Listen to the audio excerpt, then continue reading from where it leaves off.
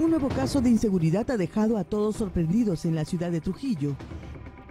Las cámaras de seguridad captaron el preciso instante cuando dos sujetos roban a un perro de raza bulldog inglés que se encontraba dentro de una tienda de venta de accesorios para celulares. En las imágenes se puede ver cómo estos delincuentes pasan por este establecimiento detectando a la mascota que estaba con su dueña. Segundos después, ellos retornan para cargar al can y huir raudamente de la zona, dejando a la responsable de este animalito sin saber qué hacer. Tras lo sucedido, acudieron a la comisaría de Paiján para realizar la denuncia por el robo de la mascota, donde los agentes empezaron con la búsqueda del bulldog, encontrándolo en las afueras de una iglesia evangélica.